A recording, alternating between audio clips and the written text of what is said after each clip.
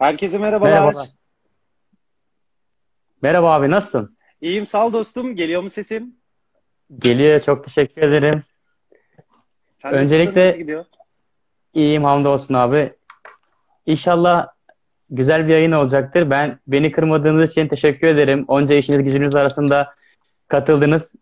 Hala klinikteyim. Öncelikle Az önce Evet. hastalarıma diyorum ki yaylım var yaylım var.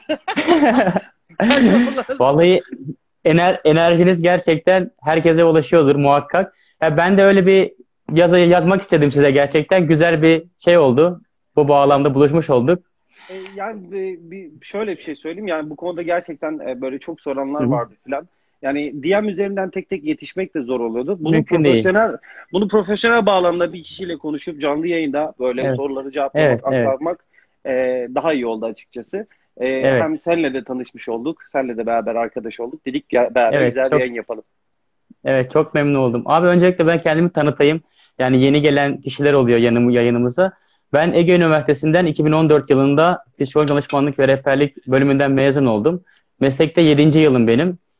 Ee, bir devlet okulunda çalışıyorum. Bu vesileyle de böyle Instagram üzerinden özellikle tercih döneminde bu işe giriştim. Öğrencilere birinci ağızdan bu meslekte direkt çalışan kişilerden bilgi almaları için böyle bir fırsat geçti elime. Ben de bu şekilde çocuklara yardımcı olmaya çalışıyorum. Amacım tamamen şu, e, öğrencilerin kendilerini iyi tanıyıp kendilerini en iyi şekilde ifade edecekleri alanlarda meslek sahibi olmaları. Kesinlikle. Yani bu konuda da bu konuda da sizin gibi profesyonellerden yardım alıyoruz. Bugün de işte niye veterinerlik okunabilir, niye okunmaz, neden okunmalı, neden okunmamalı, kimler gelmeli, kimler gelmemeli sana göre. Bunları konuşacağız. Abi ben önce şey sorayım. Yani sen de kendini tanıtabilirsin öncelikle. Ne zaman mezun oldun, nereden mezun oldun? Ee, ben 1990 Adıyaman doğumluyum ama e, kendimi Urfalı hissediyorum. E, memleketim olan Şanlıurfa'nın e, Güzide Üniversitelerinden Harran Üniversitesi'nin Veteriner Fakültesi'nde 2010 girişli ve 2016 çıkışlı. Normalde okul 5 yıllık ama bizde şöyle bir espri vardır. 5 yılda mezun olanı döverler diye. Hani Evet, evet. çünkü o biraz zor olduğu için ben de bir sene takmışlardanım yani. 2016 yılı mezunuyum. Ee, okul hayatım boyunca e, yani amatör olarak veteriner hekimlik konusunda sürekli veteriner kliniklerine gidip abilerime yardımcı olmaya çalıştım. Profesyonel bağlamda yani para kazanmak bağlamında ilk 2016'nın Temmuz ayında e, işe başladım. Yani Haziran'dan mezun oldum. Temmuz ayında hemen işe başladım. Hı Ee, beş tane veteriner hekimle çalıştım. Bu süre zarfında her bir hekimden öğreneceğim şeyin bittiğini anladığım anda ayrıldım. Ee, ve en sonunda 2018 Nisan ayında Hospi Veteriner Kliniğini Hospiveti kurduk. Eşimle beraber kurduk. Burada beraber e, mücadele ediyoruz. Kendisi veteriner Evet. hekim değil, kendisi e, sosyal medya uzmanı. E, aynı zamanda Evet. kliniğimizin müdürü hanımı. Yani tamamen İçişleri Bakanı. hem hem hem evde Evet, hem evet. klinikte direkt bakanlık Evet. boyutunda yani. Bu şekilde e, şu süre, şu zarfa kadar, şu süreye kadar da tek derdimiz canları kurtarmak bağlamında. Evet.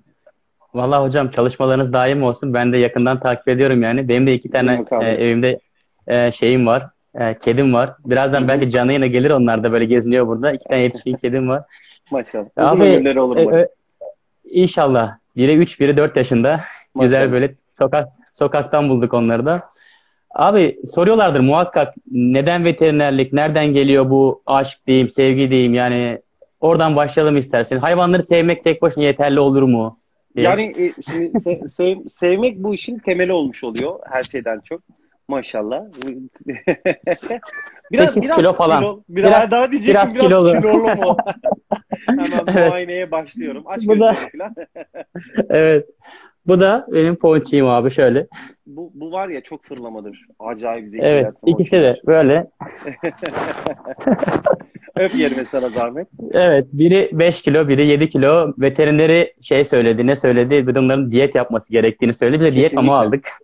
Ya Ama bak şöyle, Evet. dur hemen hemen burada biraz hekimlik yapıyorum. Lütfen mama yeme süresi sabah 30 dakika, akşam 30 dakika. 31 dakika mama kalmayacak. Vücut açken de çalışacak ki yağ yakacak. Yağ yakma metabolizmasına bu şekilde yardımcı olabilirsin. Evet, Bir de ekstradan destek amaçlı L-karnitin kullanırsan mükemmel. tamam. Ben bunu eşime söylüyorum hemen. O da dinliyor zaten. Tamam. Abi canları başka bir şey istiyor. Ne yapalım veriyoruz ödül mamasıdır falan filan kıyamıyoruz ama maalesef Olmaz. engel olmamız lazım. Olmaz. Evet Olmaz. abi, Karaciğer yağlanması, böbrek yetmezliği çıkarsa canın daha çok acır Evet. lütfen. Evet evet. Abi aşktan sevgiden bahsediyorduk. Bu mesleğe nasıl başladığından bahsediyorduk. Yani e, şimdi şöyle ben kö- köyde bir yetişmiş bir çocuğum. O yüzden Evet. biz çocukken zaten hani e, hayvanların arasında büyüdük. Koyunlar, keçiler, inekler, buzağlar, e, köpekler, atlar. Kendi atım da vardı. E, Evet. Yani çocukken dedem de böyle yarışçılığa meraklıydı filan.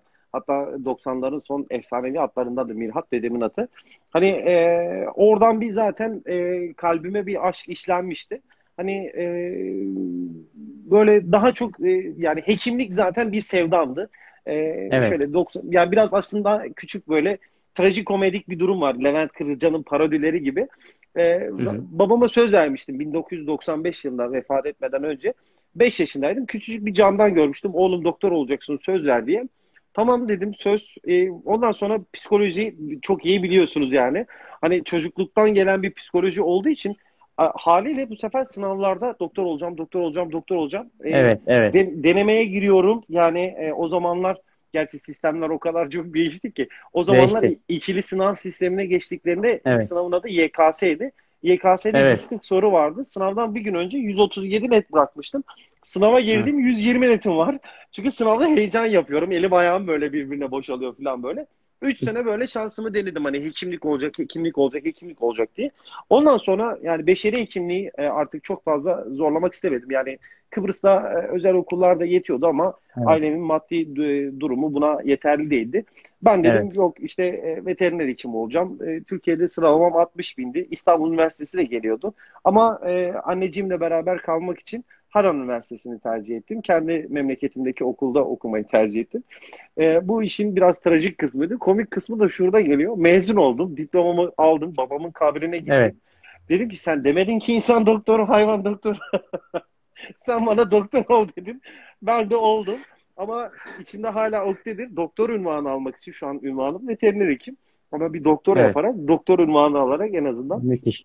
Onu da mutlu Çok edeyim istiyorum. Yani ama Evet. e, tabii bu işin e, şey kısmı, hikaye kısmı. Tabii ki Evet. e, severek, isteyerek girdim bu bölüme. Yani kazanabileceğim zaten az çok sıralamalardan biliyorsunuz 60 binde kazanabilecek birçok yer vardı. Girebilecek birçok yer vardı. Ama Evet. e, tek tercihim veteriner hekimlik üzerineydi. Ve e, ilk tercihimde yerleştim. Yani Harran Üniversitesi Veteriner Fakültesi ilk tercihimde. Evet. Onu istedim ve girdim. Birincisi her Çok iyi. şeyden önce isteyerek oluyor. Ve e, bu Hı hı. aşk, bu e, şey tamamen benim o içindeki zamanında e, hayvanlarla paylaştığım sevgiyle beraber gelmekte. E, tabii severek Evet. yapılan her işin sonunda başarı olunca bu noktalara Evet, gelebildik. Evet. Abi tebrik ederim öncelikle yani. Güzel hikayen var. Ya birçok kişi böyle aslında başlıyor yola. Çocukluğundan yola çıkıyor. Umarım kişiler de biraz böyle düşünür. Ben ne olabilirim diye, ben ne yapabilirim diye bu hayatta yapabileceklerine odaklanır ve sizin gibi hani böyle işini severek yapan kişilerin sayısı daha da artar diyorum. Zaten şeyleri konuşacağız birazdan. Doktora falan demiştiniz. Yüksek lisans nasıl yapılıyor? Yüksek lisans programları neler oluyor diye veterinerde. Ben şöyle sorularıma bir bakayım. Ee, üniversitelerde temelde hangi dersler oluyor abi? Şimdi şöyle e, derslerin isimlerini böyle tek tek sormaktansa yani Çok mümkün değil, isimlerini mümkün saymaktansa biraz mantığını anlatayım. Çünkü mesela Evet, şöyle bir aynen. sınav, sınavda mesela de, 57 kişinin seçmiş olduğu bir dersin buradan Ömer hocama sevgilerimi gönderiyorum. 30 57 kişi Ömer Hoca böyle naif, tatlı hani çok kolay böyle rahat geçebileceğimiz hocalardandı. Seçmeli ders Evet. oldu. 57 kişi seçti sınıfta. Hoca da sınavda ilk sorduğu soru dersin adı nedir diye. yani ve Oo. sınıfta sadece 8 kişi cevapladı. İşte kısrak yazan var, reprodüktif yazan var. Yani dersin adı kısraklarda reprodüktif fizyoloji ve ultrasonografi. Hani hani hoca bunu sordu sınavda. Şimdi böyle ders ders hani anlatmaktansa işin Evet, temelini anlatayım. Çok güzel. Şimdi Evet. e, işin temelinde birinci sınıfta görülen şey hani e, biz mesela anatomiyle başlıyoruz. Ana ders anatomi olmuş oluyor. Canlının neresinde ne yapıya sahip olduğunu. Tabii bunlar Evet. hiç bilmediğimiz, ilk defa karşılaştığımız bir dille karşımıza geliyor. Latince en son Roma İmparatorluğu'yla kullanılan. Onun dışında hekimler tarafından sadece kullanılan bir dil öğretiliyor. E, temelinde önce bu dili öğrenmek lazım. Çünkü dildeki temel mantık da aslında hani yönlendirmeye yönelik. Mesela şöyle bir örnek vereceğim. Şu gördüğünüz parmağımda iki tane eklem var. Şu alttaki, şu istteki. Şunun adı artikülasyon interfalange approximalis manus. Yani açıklaması şu. Artikülasyon eklem demek. Inter arasında demek. Falangea yani falanksların arasında. Üst tarafta proximalis manus elde. Yani e, elde falanksların arasında üstteki eklem. Yani şimdi e, bu aslında çok önemli bir nokta. Niye dersen hani e, şöyle işin mantığını kavrayınca hani ezberden çıkınca dersleri anlamak, dersleri yorumlamak daha da kolay evet, oluyor. Evet. Hani e, bu şekilde mesela Bestami Hoca'dan bugüne kadar en yüksek not alan öğrencilerden biri de bendim yani. Hani e, şeyden anatomi dersinden. Mantığı kavrayınca gerisi gerçekten çok kolay oluyor. Evet. Şimdi o evet. yüzden ilk başta temel neyin ne olduğu öğretiliyor. İkinci ve üçüncü sınıfta ikinci sınıfta daha temel ağırlıklarla beraber neyin nasıl çalıştığını öğreniyorsun. Fizyoloji devreye giriyor, biyokimya devreye giriyor. Hani e, bir fonksiyonun, bir sistemin, bir işlemin nasıl çalıştığına dair öğreniliyor. Üçüncü, dördüncü sınıfta biraz daha işin e, özellikle üçte e, biraz daha işin bozulma mekanizması. Bozuk bir şey evet. nasıldır? Bu gösteriliyor. Tamam. Patolojiyle gösteriliyor. Histolojiyle, histopatolojiyle gösteriliyor.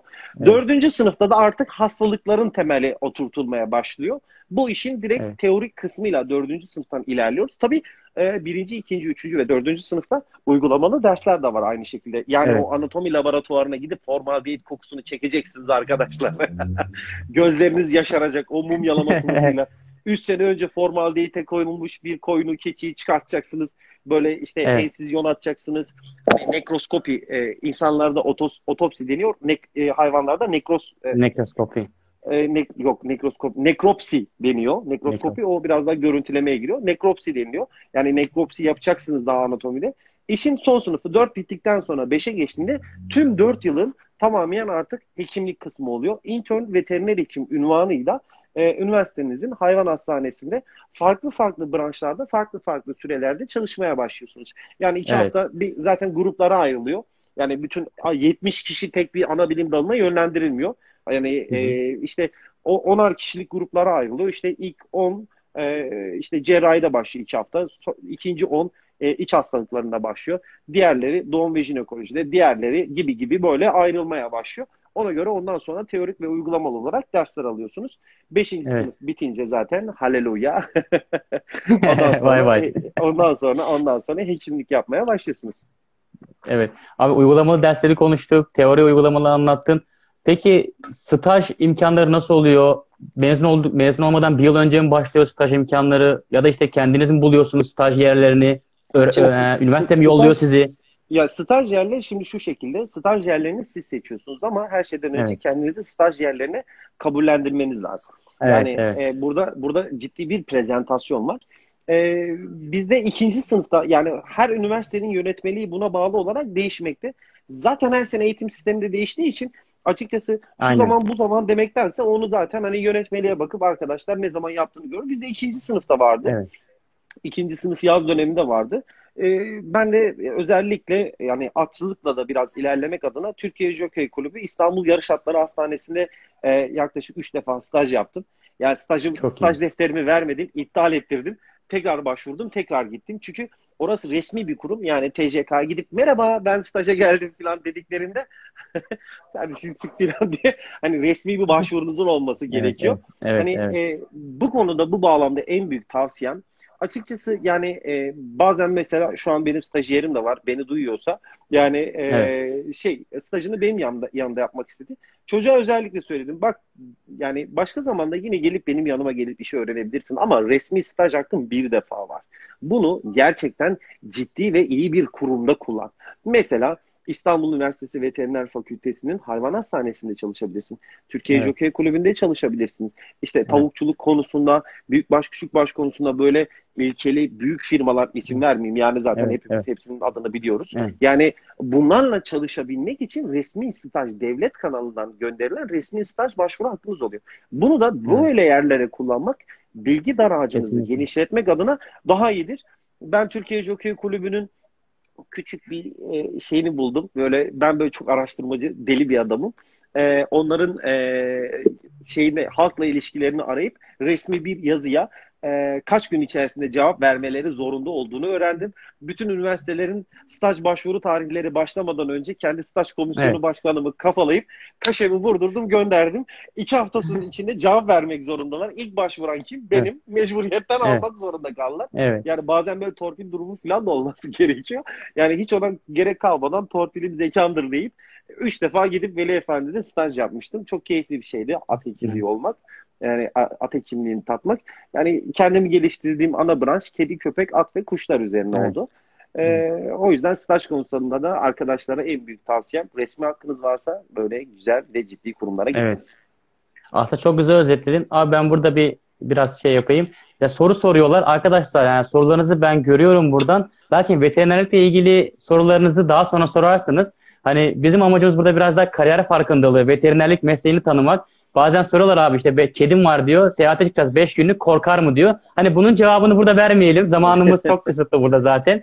Hani amacımız veterinerlik arkadaşlar. Kliniğimiz evet, 7 evet, açık. Aynen. Sorularınız varsa bizim evet. kliniğimize Birazdan da konuşacağız. Bazı evet bazı öğrenciler şey yazmış abi işte hep güzel yanlarını konuşuyorsunuz işte işsiz kalıyorlar falan onları da konuşun. Birazdan konuşacağız onları da zaten. Hani iş bulma imkanlarını falan merak etmeyin yani yavaş yavaş geliyoruz oraya da.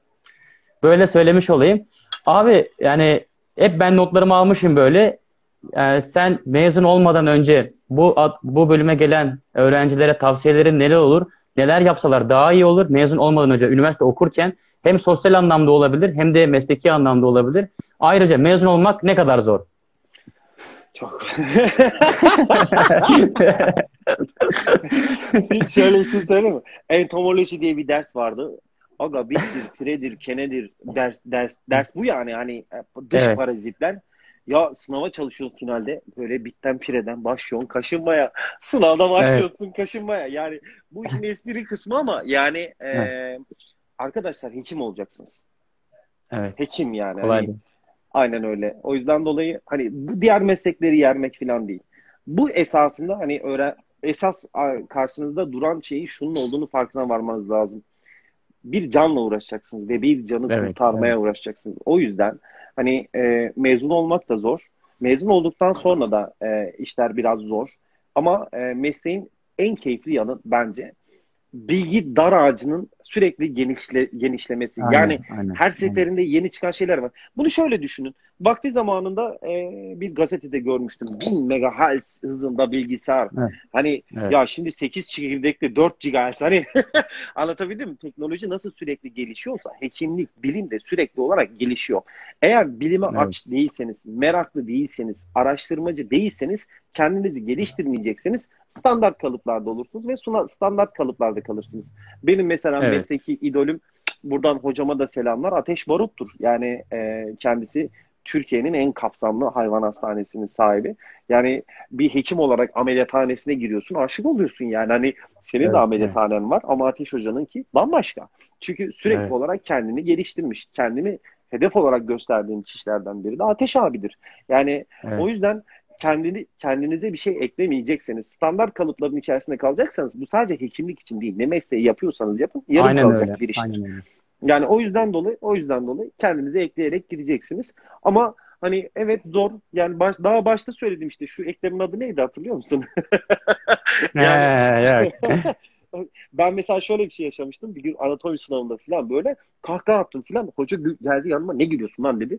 Döndüm hocam dedim. Ben dedim hani biz Latince öğreniyoruz. Böyle etrafımda akrabalarıma anneme hava atıyordum işte. Evet. Ya hani atların kenara doğru tekme atmasını engelleyen e, leğen kemiğinde bir şey var. O bir kasın leğen kemiğinde yapıştığı bir ol, oluk var. Sulcus evet. ligamentum accessoriosis femoris. Hani ben Latince biliyorum böyle hava yapmak için öğrendiğim şey sınavda karşıma çıktı ve kahkaha attım yani. Peki cevabını biliyor musun hocam? Tabii ki dedim, atı işaretledim hemen. Yani o yüzden dolayı hani e, bambaşka şeyler öğreneceksiniz. Bambaşka evet, bir hayata, bambaşka bir deryaya geleceksiniz. Ve bir de e, evet. e, şöyle bir şey var. Yani e, okulda daha çok teorik ağırlıklı geçiyor. Hani iş hekimlik kısmına geldiğinde esas böyle o 4 senede öğrendiğiniz şeyler yani 5. E, sınıfta intern olduğunuzda artık karşınıza çıkmaya evet. başlıyor. O 4 seneye ne kadar hakimseniz 5. sınıfınız da o kadar hakim olur. 5. sınıftan itibaren artık işin uygulaması, hekimliği işin tadı çıkmaya başlıyor. Bu evet. yüzden bu yüzden arkadaşlar hani e, merak asla gitmeyecek. Başarı da her zaman çalışmakta olur. Abi peki senin okurken yani keşke yapsaydım dediğin pişman olduğun bir şey oldu mu mezun olduktan sonra? Ah şu şeyle yapsaydım. Ya o şeyde konuşabiliriz. Çap imkanlarını Erasmus falan yani düşündün mü? Yapılıyor e, muydu Erasmus'ta e, yani e, Erasmus'ta okulumun e, İngilizce sınavında birinci olarak okulumun e, yani fakültemin ilk giden öğrenci öğrencisiydim. Peki. Hani Slovakya'ya gittim, Koşitse'ye. O zaman e, 2000 2014 Avrupa Kültür Başkenti'ydi. Ee, şeyle evet. beraber, Marsilya ile beraber. Öyle bambaşka bir kültüre gittim. Daha çok çingenelerin bulunduğu bir toplumdu Koşitse. Hani Erasmus imkanımız vardı ve değerlendirdim. Çok bambaşka bir tecrübeydi. Muhakkak herkese tavsiye ederim. Ee, merak etmeyin dersleri kolay geçiyorsunuz orada. hani kültürü tadın. Yani bir dönem böyle bir kayabilir yani. Hani ama eksikleri tamamlamak adına hani e, yazın oturup hani kendi okulunuzda arkadaşlarınızdan notlar alıp onlara da muhakkak çalışmanızı tavsiye ederim. Hani e, okulda keşke e, yapmasaydım dediğim açıkçası hiçbir şey olmadı. Yani e, bu canlı yayında değil de özel anlatacağım çok şey de olabilir tamam. yani. Hani öğrencilere kötü örnek olmayalım. evet. okulda okulda çünkü yani hem e, çalışan hem bütün sosyal aktivitelere katılan işte her zaman sınıf te, e, sınıf temsilcisiydim. Fakülte temsilciliği yaptım. Fakülte ah, temsilciliği yardımcılığı yaptım. E, Yüksek Öğretim Kurulu'nun yarının liderleri projesi vardı. Bu kapsamda bana çatal bıçağı bile nasıl tutacağımı öğrettiler. Yani sürekli olarak koşturan kişiydim. Çünkü e, benim beynim aç ve asla doymuyor e, tabiri caizse bırçı. o yüzden o yüzden bilgiye aç bir adamım. Bilgiye aç olduğum için sürekli e, kendime katlayarak devam etmek istedim. Çok iyi. Hani e, hiçbir pişmanlığım da olmadı. İyi ki de okulda evet. mezun oldum. Çok güzel arkadaşlıklarım oldu. Çok güzel hocalarım oldu. Hepsine burada selamlar, öpücükler. Evet. Öğrenciler de soruyor zaten nereye mezunuymuş falan filan diye kaçıranlar. Harran ben Üniversitesi sen, arkadaşlar. Ben sendikalı evet. Kemal Sunal diyor ya. Ben sendikalı evet, ben evet. Harranlıyım. evet. Peki abi bazı mesleklere ben soruyorum böyle katılan benim arkadaşlarıma. Okurken para kazanma imkanı oluyor mu abi? Sizde? Yani mes- şimdi şöyle bir şey. E, benim Mesleki stajyerim... anlamda zor sanırım. Yo ya stajyerim şu an kazanıyor. Yani evet. ama bir cep harçlığı tarzında hani e, evet, normalde evet. vermekle yükümlü değilim ama çocuk burada da biraz evet. hayatını gerçi yine evimde evet. kalıyor hani her gün her gün arabayla işe geliyor. Çok güzel kıyak bir staj ama hani cep harçlığı da veriyorum yani. Evet. Ama okurken evet. okurken şimdi şu şekilde hekim ünvanında değil de hani e, bir e, asistan bakın tekniker de demiyorum evet. tekniker değiliz. Bir asistan ünvanında evet. bir veteriner hekime yardımcı olmak babında gidip kliniklerde çalışıp kendi harçlığınızı çıkarmak üzere çalışabilirsiniz. Ama evet. e, hekim olabilmek adına tabii Anladım. bu süre bu süre zarfında da şöyle bir şey var. Mesela yani e, sizin kendinize katacağınız şeyler ünvanınızı, diplomanızı alana kadar biraz da sınırlı maalesef. Çünkü hekim evet, değilsiniz. Evet. Bir canlıya enjeksiyon yapmanıza müsaade evet. etmeyeceğiz maalesef. Çünkü e, evet. o canlının sorumluluğu hayatı tamamen bize bağlı. Yanlış yapılan evet. bir enjeksiyon çok tehlikeli noktalar doğurabilir. Bundan mütevellit evet. hani e, o dönemdeyken hani belki enjeksiyon yapamazsınız, belki operasyon evet. yapamazsınız ama bunu e, net bir şekilde görürsünüz. E, bunu net bir şekilde öğrenirsiniz. Evet. Diplomanızı alınca da Evet. Ya en azından abi o havayı teneffüs etmek bile müthiş bir bence deneyimdir yani benim kendi açımdan. Yani, yani görüşüm bu şekilde. Öğrenciler geniş tutsunlar bana göre çevrelerini, hani muhabbetlerini mesela bir uğrasınlar bir çay içsinler ne bileyim hani 5 dakikada olsa bir uğrasınlar veteriner olacaksın ve gitsin yani.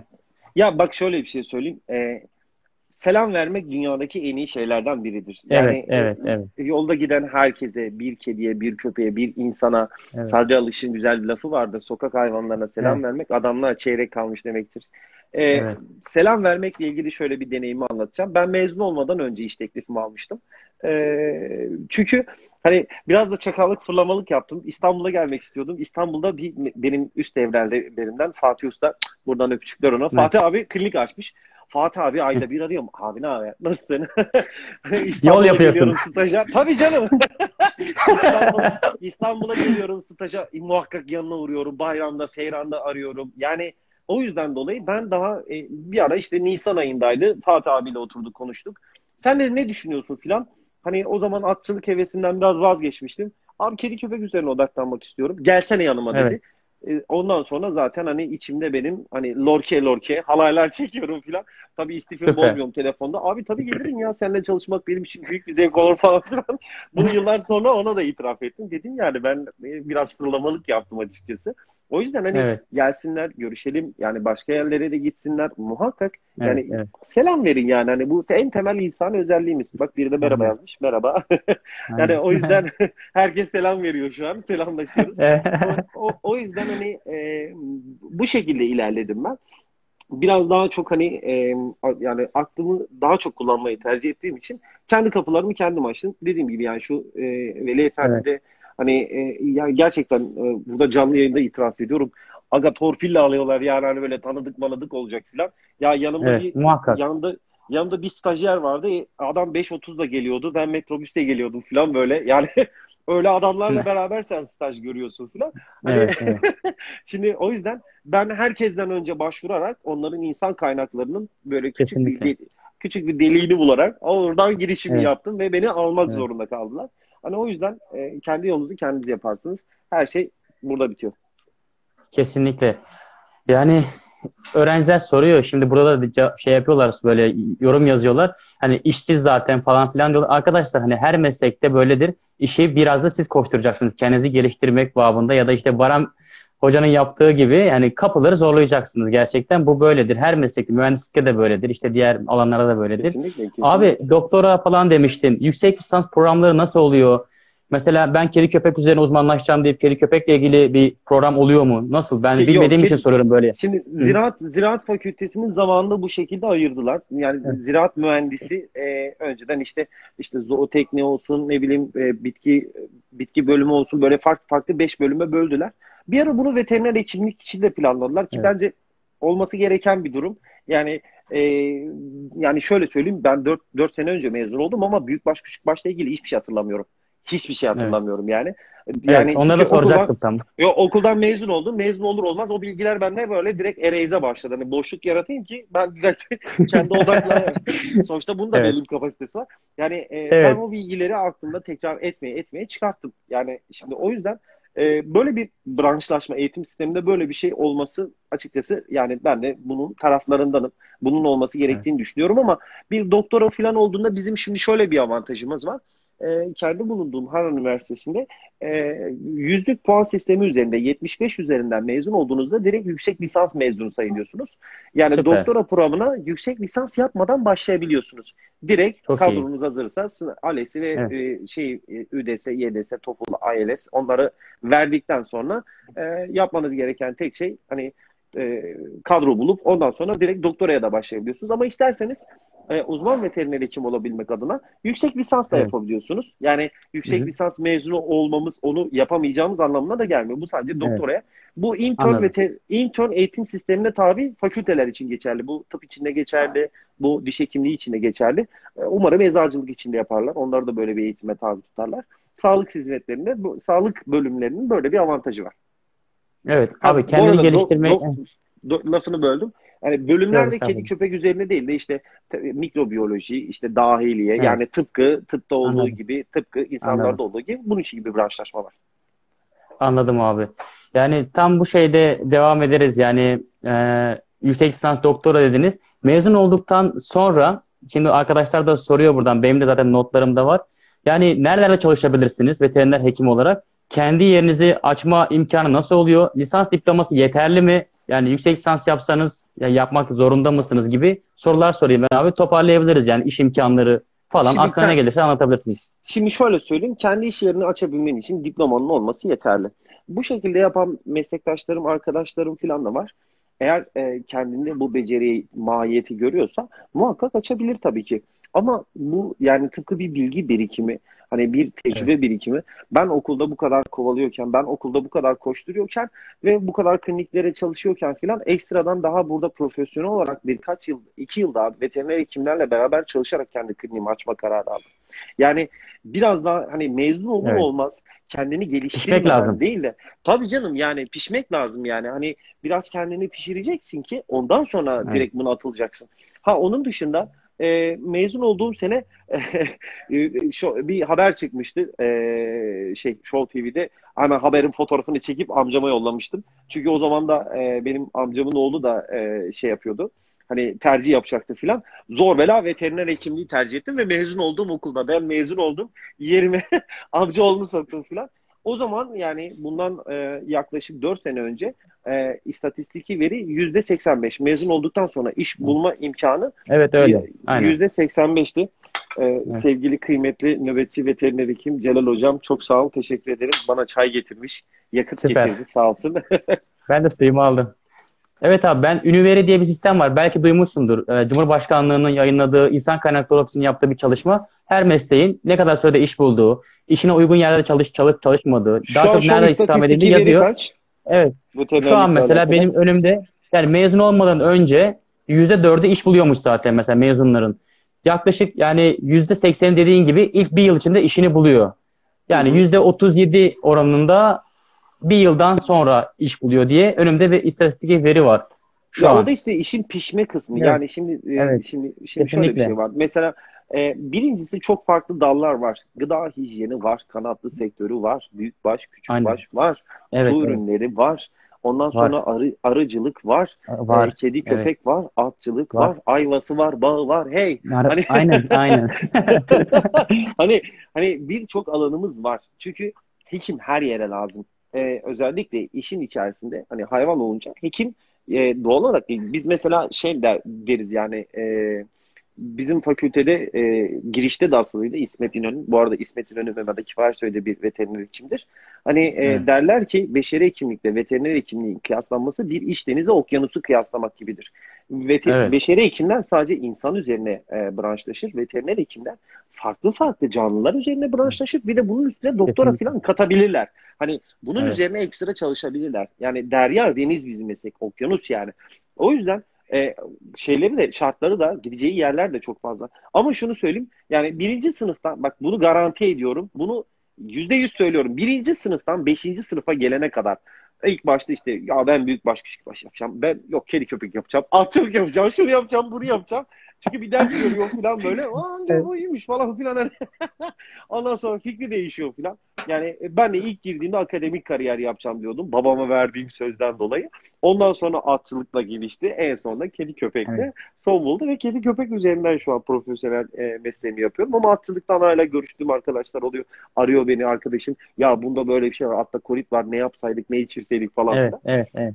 Hani e, hala o konuda da, o konulara da hakimim ve e, o konuyla alakalı arkadaşlarıma konsülte ediyorum. O yüzden hani e, derya deniz geniş alanlar var. Evet, Önemli olan var. neye neye karar vereceğiniz. Hatta en önemli şey e, karar verdikten sonra bunu yapmak konusunda radikal yap, evet. radikal kararlarınız yani bunu yapacağım ben. Evet. Yapmalıyım Kesinlikle. ve kendimi geliştirmeliyim. Esas mevzu bunun üzerine.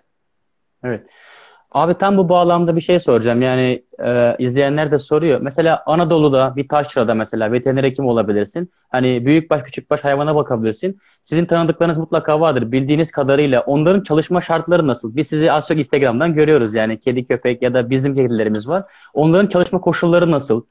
Ben sana bir çalışma koşulu söyleyeceğim. Bir şok geçireceksin. Bak şimdi fotoğrafı var. Kendi şeyimde paylaşmıştım. Sana Adaylar duysun. Ama, ama ifade etmek için söylüyorum. Evet. Hayvanat bahçesinde bir veteriner hekim bir fotoğrafını paylaşmıştı. Bir şey caps yapmışlar böyle. Altına da kırmızı ile yazmışlar. Kırmızı fon beyaz yazı. Neyse biz halimize şükredelim diye. Şimdi e, büyük başlarda e, re, reprodüktif fizyoloji konusunda yani gebelik muayenesi olsun hani e, evet, evet. muhakkak zaten hani veteriner hekimlerin müdahalesiyle istedikleri dönem canlılar doğum. kızgınlığa getirilip doğum olayı falan evet. istediği zamana gerçekleştiriyor. Hepsi bütün canlılar aynı zamana gerçekleştiriyor. Bu e, ayarlanabilen bir şey. Ultrasonografik evet. muayene için e, rektal muayene denilen bir muayene var.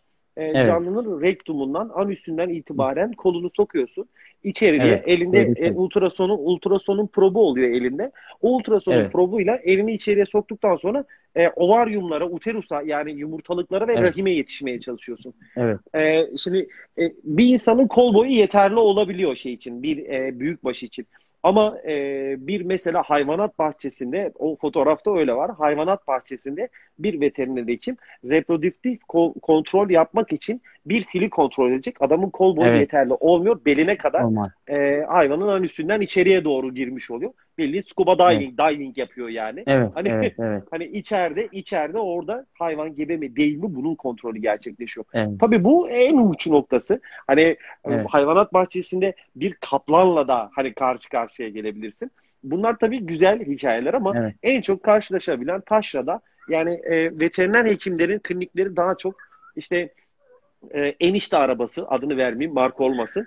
Enişte arabası arkası dolu baba ilaçları koymuş.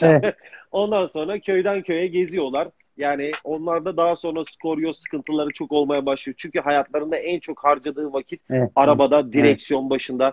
Gecesi evet, yok, evet. gündüzü yok. Gecenin gecenin üçünde arıyorlar.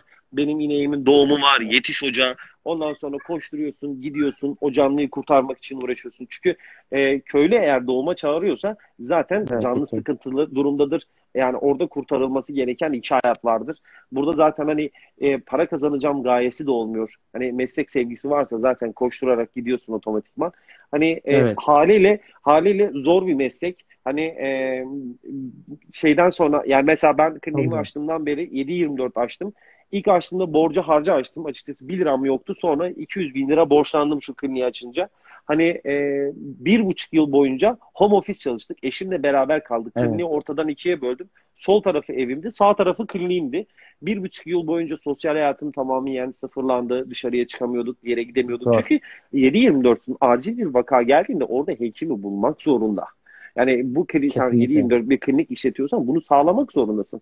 Haliyle de hani e, bir yere çıkamıyorduk yani çıkmak istemiyordum. İçim bırakmıyordu filan. Ondan sonra bir buçuk yıldan sonra kadrolaşmaya başladıktan sonra biraz daha kendi sosyal hayatıma oturmaya başladı. İşte bazen hasta sahiplerini de buradan böyle bütün hasta sahiplerimi öpüyorum ama şunu da belirteyim. Efendim Hospivet Veteriner Kliniği 7-24 çalışıyor. Ben değil. Yani ben de bazı ben de bazen olamıyorum. Dinleniyorsunuz. Hani, Yok cumartesi pazar günü yokum. Haftanın beş günü çalışıyorum. Benim cuma benim Baran Hoca ile cumartesi görüşmem lazım. Ama yani hekim var. Acil bir şeyse bana ulaşılması gerekiyorsa arkadaşlar zaten ulaşıyor. Yok bana numarasını verin falan böyle çok inat edemezdi sahipleri evet, var. Ne olur kızmasınlar. Ben de insanım. Yani evet, size her evet. zaman keşke keşke robot olaydım. Her zaman ve evet. hatta diyordum keşke bu işi ücret karşılığında yapmasaydık. Yani devlet nazarından bir ücret ödenseydi falan. Evet, evet. Hani hiç kimseyle para muhabbetine girmeseydik. Keşke robot olaydık. Her zaman sizlere ben hizmet vereydim ama ben de insanım. Evet. Ben de yoruluyorum. Sizlere daha iyi hizmet vermek adına, daha iyi enerji evet. sunmak adına benim de dinlenmem gerekiyor. Evet. Tam bu bağlamda devlet demişken az önce geçti şeyinde devlete atamalar konusunda bilgin var mı ya da arkadaşların çalışıyor mu devlette? Çünkü öğrenciler genelde iş imkanı sorulunca hemen aklına şey geliyor. Devlet, hocam iş bulabilir miyim çıkınca? Yani çıkar çıkmaz hemen devlete atanmak isteyenler oluyor ya. Yani şimdi bunlar biraz daha para göz hani evet. devlete sırtımı yaslayayım baba devlet arkamda sıkıntı yok. Ya şimdi şöyle bir şey var arkadaşlar. Hani e, böyle bir arkadaşım da oldu sınıf arkadaşım. Tavşana elleyemiyordu. Veteriner hekim olarak gelmiş. E atamaları güzel ya ben devlet memuru olacağım diye. Hmm. Ama devlet memuru olduktan sonra fotoğraflarını görüyorum. Rektal muayene yapmış, aşılar yapıyor. Hani evet. Şimdi bu bağlamda girince hayatınız bambaşka noktalara dönebilir. Yani ya ben burayı seçtim ama artık mecburum. Yani bu mecburiyetle giderseniz memnun kalamazsınız hayatınızda. Yani e, o yüzden dolayı memnun memnun kalabileceğiniz şekilde. Yani devlet memuru hekimlik yapmıyor diye bir şey yok ki. E, devlet Yok. memurları istatistiksel verileri, hastalıkları, takipleri bunların hepsini gerçekleştiriyorlar. Kesinlikle. Evet işlerinin işlerinin çoğunluğu daha çok masa başında filan ama yani hiçbir iş böyle sırtımı yaslayayım da hani bu şekilde gideyim. Hani bu şekilde değil arkadaşlar. E, en kötü önünüze şöyle bir yığın kağıdı koyarlar. Hadi bunu çöz diye. Ondan sonra dersin Allah benim belamı versin diye. Yani o şekilde değil. Evet. Kolay kolay hiçbir şekilde para kazanılmıyor. Değil. Sadece hayatta e, benim kayınvalideme şey soruyorum. Anne diyorum benim en çok hangi uyumu seviyorsun? Çalışkanlığın diyor. Anne başka hangi uyumu seviyorsun? Çalışkanlığın diyor. yani hayatta her şeyi çalışarak kazanırsınız arkadaşlar. O yüzden sırtım yastık falan değil. Atamalar şu an hani puanlar ne durumda bilmiyorum evet. ama evet. tamamen devletin ihtiyaçları, evet. ihtiyacı ihtiyaçları karşılığında zaten bu atamalar çıkıyor. Biz şu kadar sayıya ihtiyacımız var, bu kadar sayıya ihtiyacımız var.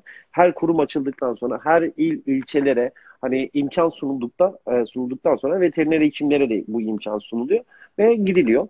O yüzden bizim tüm Türkiye'de her ilde, evet. her ilçede, her yerde ihtiyacın var insanlar. Kesinlikle. Bu yüzden dolayı yani kadro bulma konusunda da, hekimlik yapma konusunda da hiçbir zaman zorluk çekmiyoruz. Kesinlikle. Özellikle de işini severek e, yapan insanlara ihtiyacımız çok fazla. Ben hep söylerim öğrencilere şu şekilde. Yani bu milletin, bu devletin işini sevmeden yapan insanlara tahammülü yoktur diye. Gerçekten Kesinlikle. hani zaten işini sevdiğin zaman dediğiniz gibi bakın çalışmayı çok seviyorsunuz. Hatta bir söz var ya bilirsin hani bir insan çalıştığı işi çok seviyorsa hiçbir gün çalışmış gibi hissetmez kendini diye bir söz var böyle. Hani hem para kazanıyorsun hem sevdiğin bir işi yapıyorsun. Yani hayatta mutluluk veren en güzel şeylerden bir tanesi bana göre. Örneğini veriyorum bak saat 11 hala evet. aynı enerjiyle devam ediyorum. Aynen. 11 e, bir, 11 buçukta da randevum var yani hani yine çalışmaya devam evet. edeceğim. Evet. Vallahi kolay gelsin diyorum. Yani ben de mesleğimi severek yapıyorum. Yani bir öğrenciye bile buradan farkındalık kazandırsak bizim için yeterlidir. Bizim için kafidir diyoruz. Yani o amaçta umarım öğrenciler de tabii ki ülkenin şartlarını düşüneceğiz. Tabii ki maddi koşulları düşüneceğiz. Bunu biliyorum ama amacım sadece para düşünerek tercih yapmamaları, para düşünerek sadece tercih hani böyle bir meslek seçimine gitmemeleri.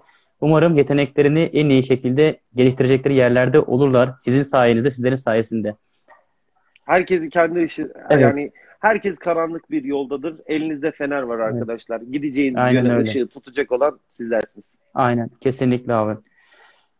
Abi bakıyorum sorularıma şöyle.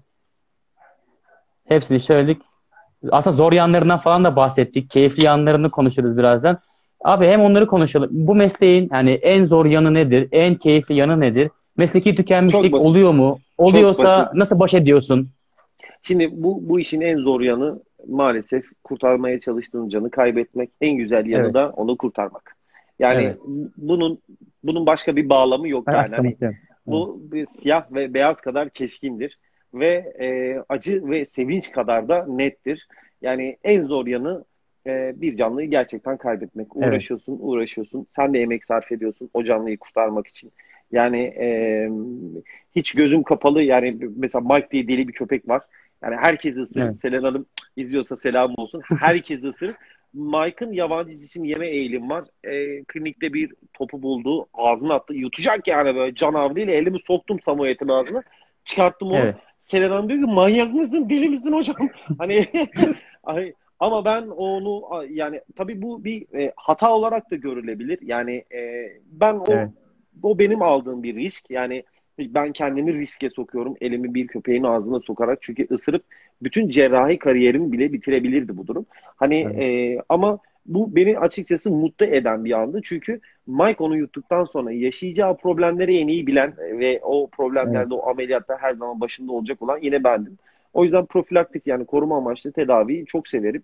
Mesleki yıpranma da yani bu konuyu burada da şey yapıyorum. Maalesef e, devletimiz bize yıpranma payıyla alakadar pek fazla bir hak ve hürriyet tanımıyor. E, evet. Biz e, yani bizim en çok çektiğimiz hasta sahipleri daha çok. Yani en çok sıkıntıyı yaşadığımız kişiler hasta sahipleri olmuş oluyor. E, yani hastalarımızın hani hırçınlığı olsun, efendime söyleyeyim evet. saldırganlığı olsun. Onlar ayrı bir dert. Yani evet. evet. Ee, az önce sizden önce bir hasta 11.30'da gideceğim e, köpeğin adı Pablo Escobar. 60 kiloluk Rottweiler ve saldırgan. Ama ben onun gidip aşısını yapacağım yani. Bu mesleki bir risk. Ama evet, orada evet. hasta sahibinin bana duyarsız davranması yani e, o daha çok zorumuza gidiyor. Çünkü biz canımızı hiçe sayarak yani mesela bir kedi tırmık attı. Ellerimiz tırmık dolu falan ama kedi tırmığı hastalığı diye bir hastalık var ve gerçekten çok ciddi kötü bir evet. hastalık. O tırmıktan kuduz da kapılabilir. O tırmıktan e, toksoplazma evet. da olabilirsiniz. Kedileri öpüp kokluyorum, o kadar okşuyorum falan ama evet. yani e, mesela hani e, Echinococcus granulosus konusunda da sıkıntı yaşayabilirim ben. Ama bu riskleri evet. göze alarak daha çok mantığımızı kullanarak hareket ediyoruz. Yıpranma payı evet. her meslekte olduğu gibi var. Oluyor. Çünkü dediğim gibi Yani e, yani siyasi olmadığınız sürece yatarak kazanacağınız evet. bir para yok yani. O yüzden her meslekte Aa, yıpranacaksınız. Kesinlikle. Abi arkadaşlar soruyor. Hem onu soracağım. Yurt dışında çalışma imkanlarını yani var mı çalışan? Bir de benim aklıma şu an geldi. Ben soruları normalde yazıyordum. Veterinerlikte üniversite fark eder mi abi? Üniversite önemli mi? Bir de İngilizce ne kadar önemli? Yani şimdi şöyle bir şey. E, Harvard Üniversitesi EOAV üyesiydi. E, yurt dışı ile evet. alakadar akreditasyonu vardı. Yani tabii evet. yurt dışıyla akreditasyonu olan bir üniversiteyi tercih etmek, diplomanızın uluslararası geçerliliğinin olması tabii ki çok çok önemli bir şey bu.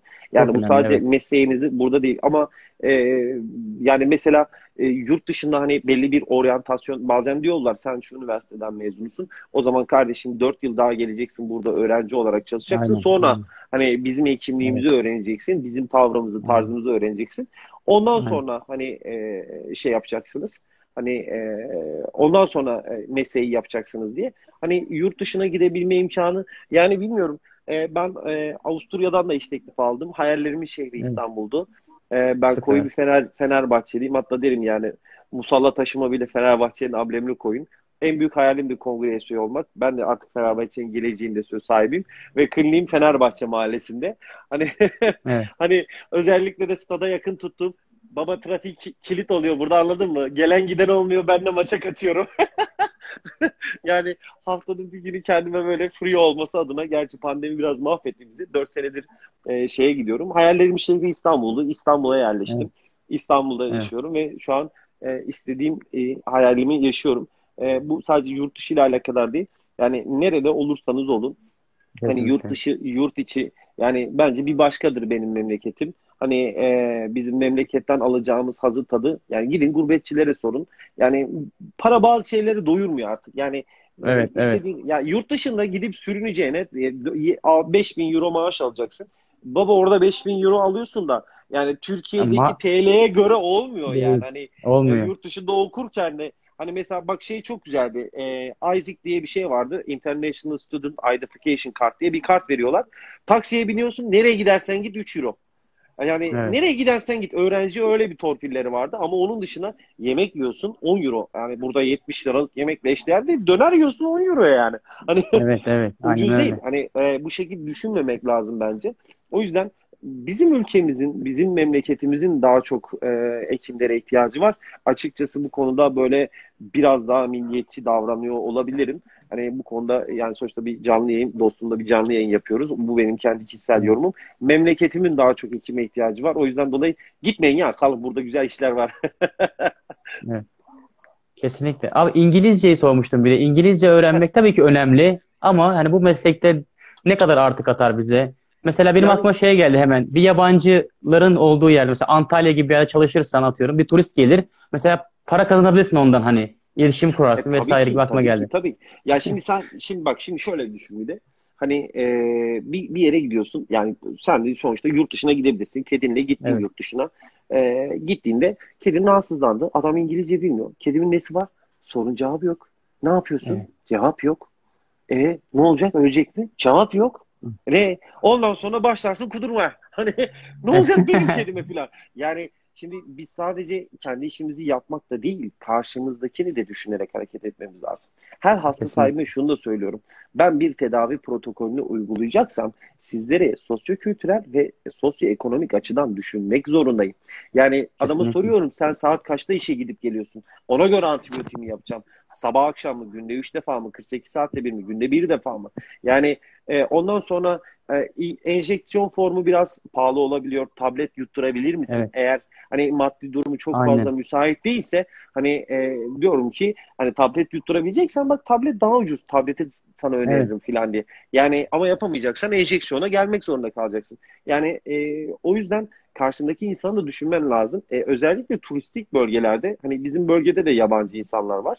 Hani ayda bir iki defa yabancı insan muhakkak yabancı İngilizce konuşmak zorunda olduğum muhakkak. hasta sahiplerim oluyor.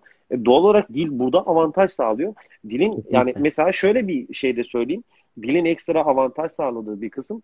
E, mesela Türkiye e, Jockey Kulübü'nde çalıştığında dil primi alıyorsunuz maaşınızda. Evet. Yani e, 70 ila 80 arasında olursa ekstra bir para. 80 ile yani x kadar diyelim. 80 ile 90 arasında e, şey 2x kadar. E, 90 ile 100 evet. arasında 3x kadar. Ben e, çalıştığımda mesela Türkiye Jockey Kulübü'nde e, stajyer olduğumda yurt dışından cerrah getirdiler. Triventiloktomi özel bir operasyon şey yaptılar. Bütün hekimleri topladılar. Adam İngilizce anlatıyor. Sen bilmiyorsan adamın evet. anlattığından ne anlayacaksın ki yani? E, Aynen öyle. Çok özel ve iyi bir ameliyatı, yeni bir tekniği göstermek üzere yurt dışından İngiltere'den veteriner cerrah getirdiler ve adam o operasyonları yaptı. Sen şimdi İngilizce bilmiyorsan yepyeni bir teknolojiden, yepyeni bir tedavi şeklinden haberin olmayacak. Ha, kesinlikle öyle abi. Abi bakıyorum şöyle saatime bir yandan bilgisayarın. Yaklaşık 8-10 dakikamız falan kaldı böyle. Ee, sorular bitmediyse, kısmına... sorular bit, bitmediyse yayını devam ettirebiliriz bittikten sonra problem değil. Anladım abi. Sorular şey yani sorular hemen hemen bitti gibi. Yani buraya gelecek öğrencilerde şey zaten anlatmıştın. Hangi nitelikler olsa daha iyi olur. Bir de öneriler de aslında bulunduğun ara ara ama öğrenciler de soruyor yayın ne kadar oldu diye bir saat oldu. Arkadaşlar yayını kaydedeceğim ben inşallah gelip izlersiniz daha sonra tekrardan sıkıntı olmaz. Yani ben ne sorayım abi? Şunu sorayım. Ee, ne vereyim abime? yok ne vereyim, ne, ver, ne vereyim abime? Aklıma bazen geliyor böyle. Öğrenciler çok soru sordu ama aslında biz bunları cevapladık birçoğunu süreç içerisinde. Sonradan geldikleri için yani dinlemiş olabilirler. Tekrar dinlesinler.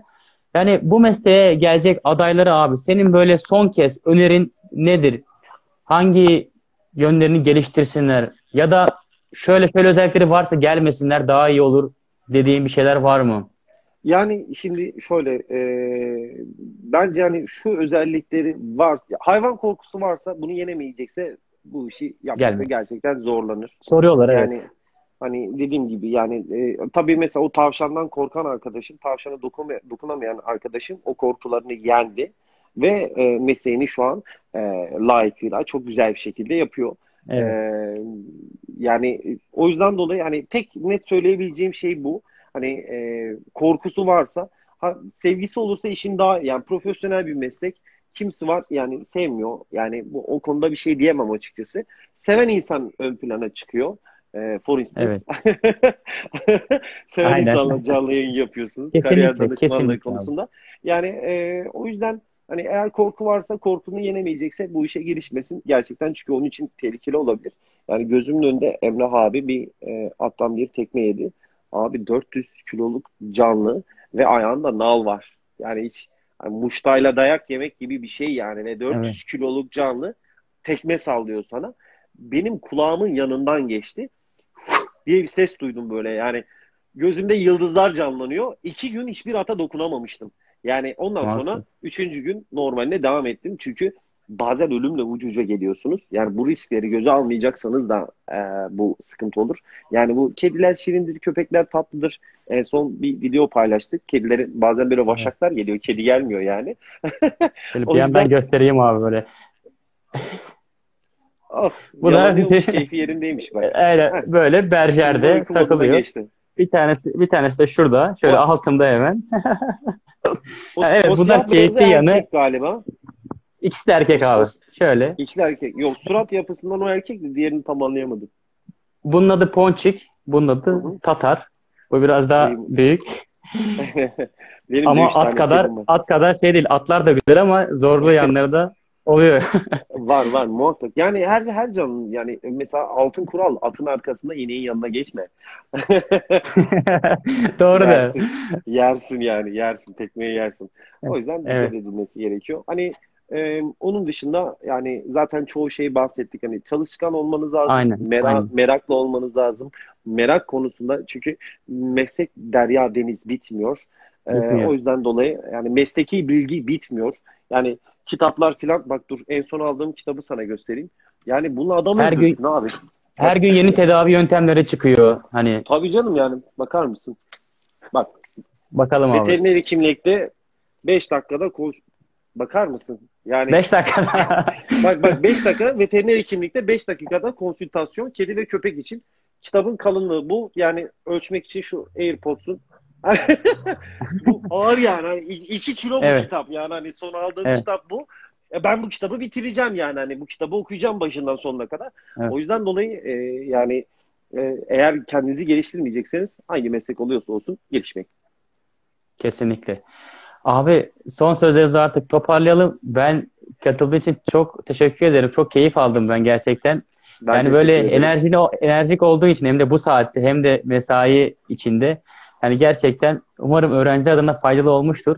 Tabii ki her soruyu mutlaka buradan cevaplayamayız ama yayını tekrar izleyenler ufak tefek şeyleri de mutlaka yakalarlar. Ben tekrar dediğim gibi gelmeyi düşünüyorum zaten Kadıköy'e. Yanına da uğrayacağım abi inşallah. Bu vesileyle de önden tanışmış olduk. Gel, Hem kendilerimi de kahve- getiririm. Gel gel gel bir kahve Evet. işte 40, 40 yıl hatır kitleyeyim sana. Doğrudur abi. Valla çok memnun oldum abi. Teşekkür ederim geldiğin için. Ben teşekkür ederim.